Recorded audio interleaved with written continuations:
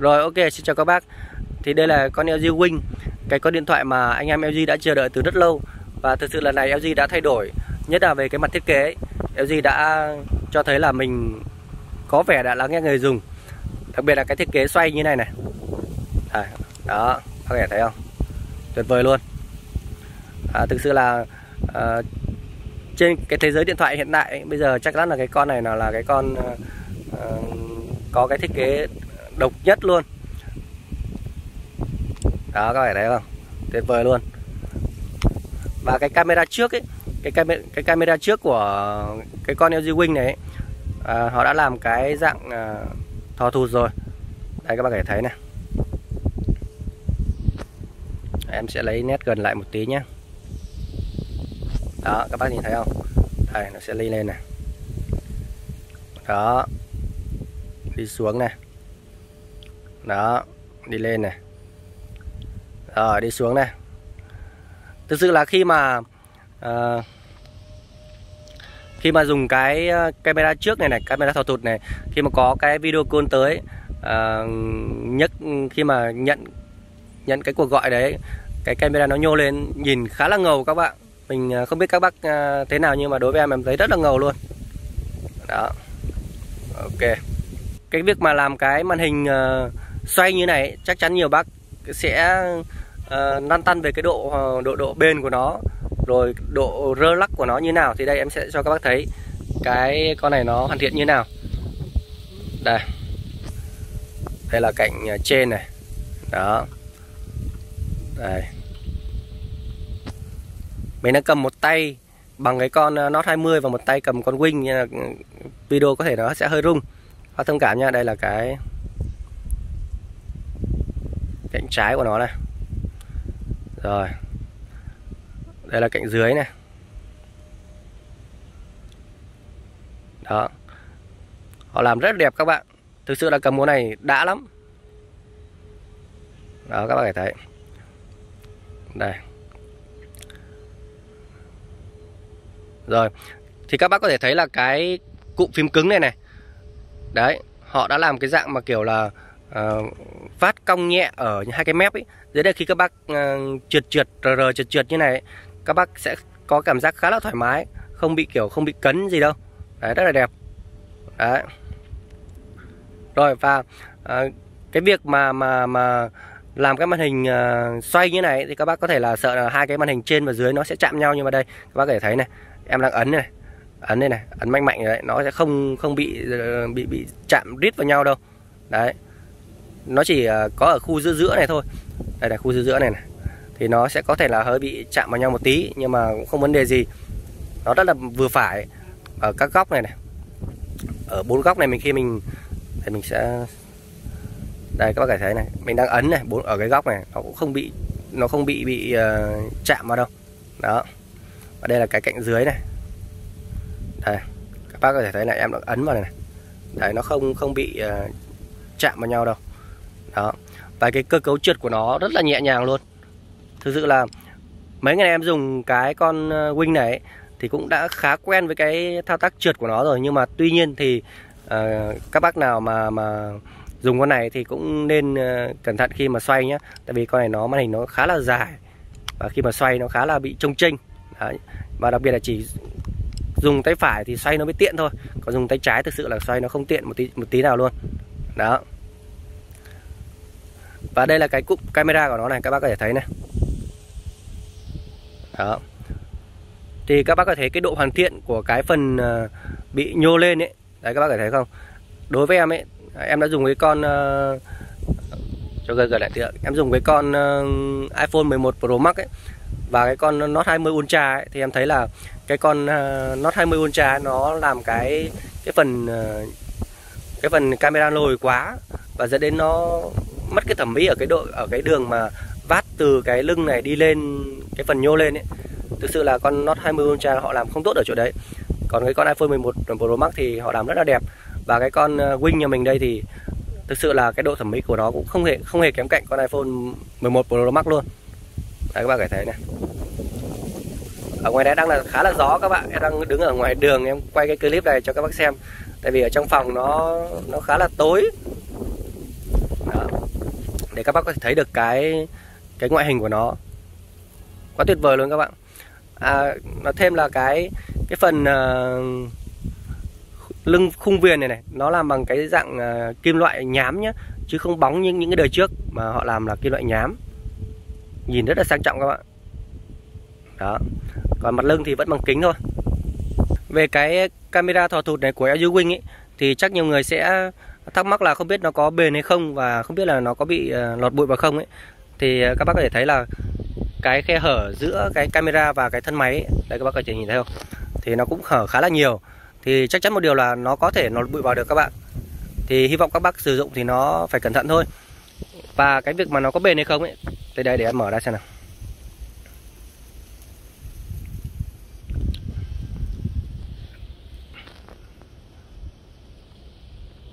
Rồi gần gần lại một chút. Đấy, thì, thì các bác có thể thấy là ở cái vòng tròn ấy ờ, ở cái vòng tròn camera ấy nó thấp hơn cái ờ, phần viền một chút xíu nhá. Dẫn đến là khi mà nó trượt lên trượt xuống ấy nó sẽ không bị uh, chạm vào cái cái phần uh, thân máy đâu. Dẫn đến là khi mà nếu ở chế độ bình thường cứ uh, trượt lên trượt xuống ấy thì nó sẽ không bị xước đâu. Đó. Và hoàn toàn các bác có thể là dán một cái miếng rất là mỏng vào ở chỗ camera trước này được. Em thấy là dán được các bạn. Đó. Đó và ở cái uh, cái phần uh, màn hình phụ này cũng vậy. Nó cũng thấp hẳn xuống. Đây các bác có thể thấy này. Nó thấp hẳn xuống các bạn. Thì các bác hoàn toàn có thể dán một cái miếng ờ, uh, PPF hoặc cái miếng gì rất là mỏng vào đây được.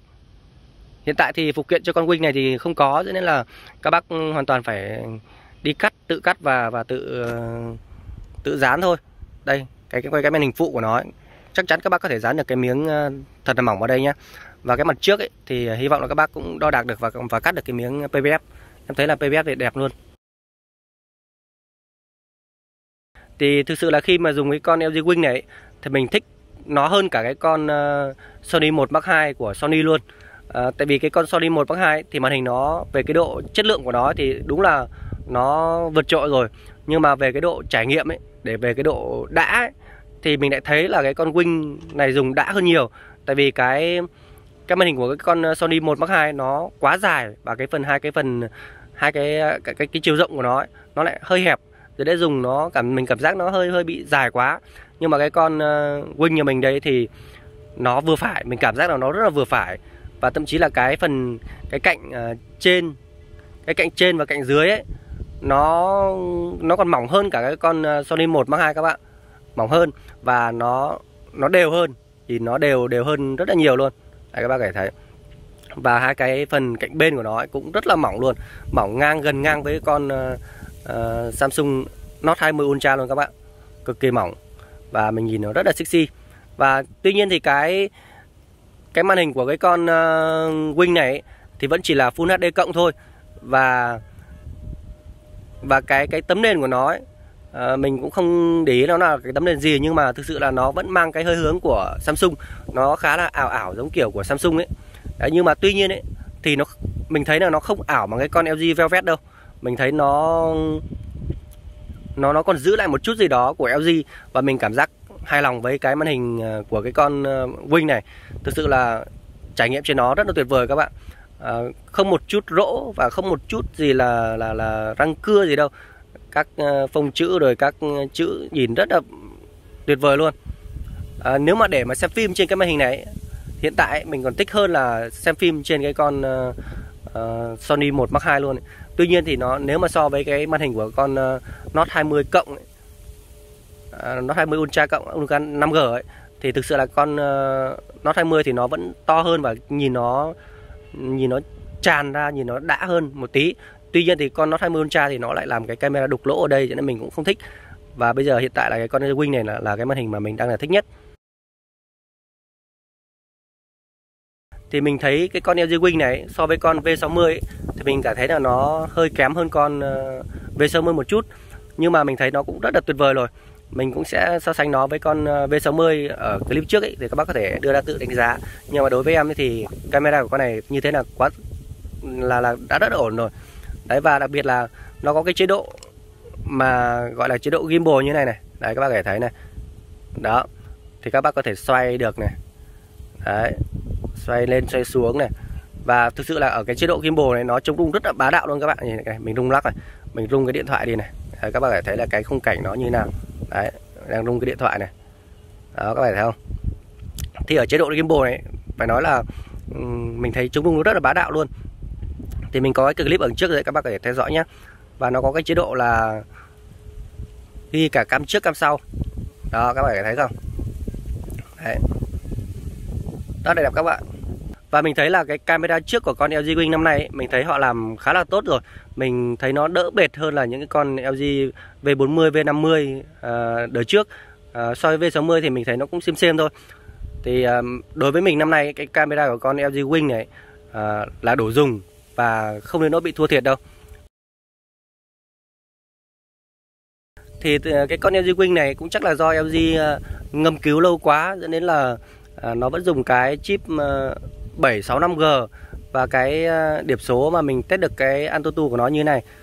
Thì đối với mình ấy, trong quá trình mình sử dụng ấy thì đúng là nếu như mà chơi game nặng ấy thì con này nó cũng hơi hơi giật nhẹ thật các bạn. Còn à, nếu mà chỉ dùng những cách tác vụ bình thường như Facebook, ờ, Zalo rồi YouTube ấy thì nó vẫn rất là mượt mà. Rất là rất là bình thường luôn.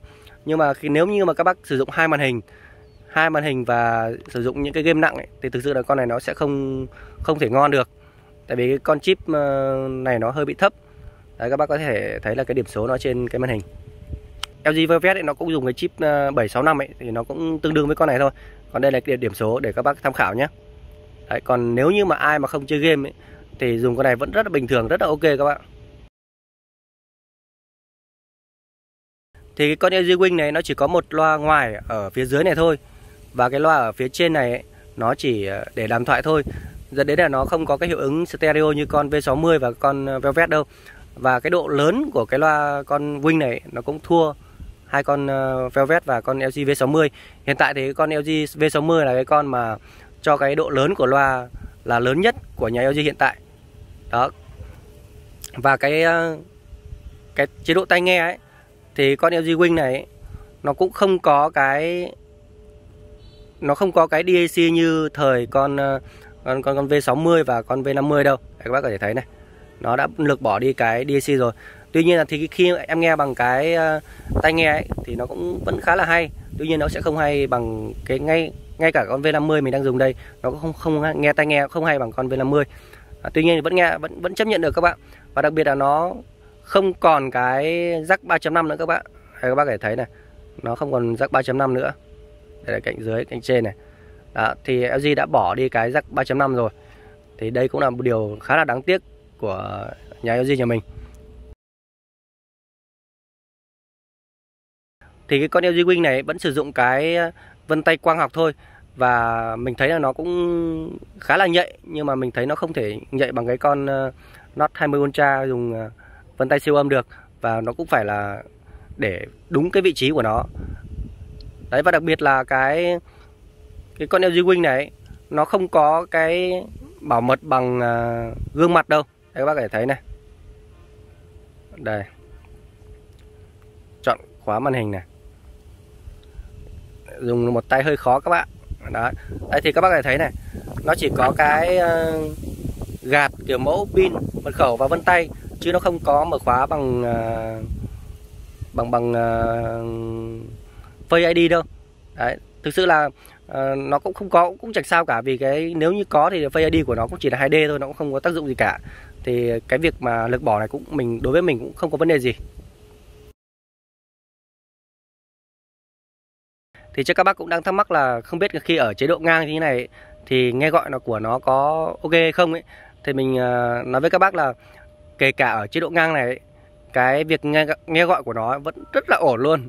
Đấy, các bác có thể thấy này. Thì khi mà các bác để ở chế độ ngang này các bác cứ áp tai vào bình thường thôi. Cái loa thoại của nó ở phía trên kìa các bác có nhìn thấy không? Đấy cái loa thoại của nó ở phía trên đó. Và khi mà ở chế độ dọc ấy khi ở chế độ dọc như này ấy, thì chúng ta sẽ nghe loa thoại bằng cái đây. Mình sẽ để gần lại cho các bác xem. Đây các bác có thể thấy là nó có một cái khe nhỏ khe nhỏ ở phía trên này này. Đấy. Và các bác áp tai vào đấy nghe vẫn rất là rõ luôn. À, thực sự là cái con này nó nó nó chỉ có một loa thoại thôi. Đây là cái loa thoại chính của nó này. Đấy đây là cái loa thoại chính nhá. Đấy các bác nghe thấy này.